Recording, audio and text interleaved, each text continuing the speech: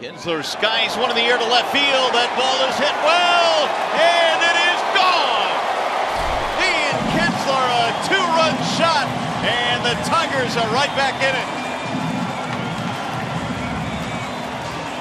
Number 24 for Kinsler.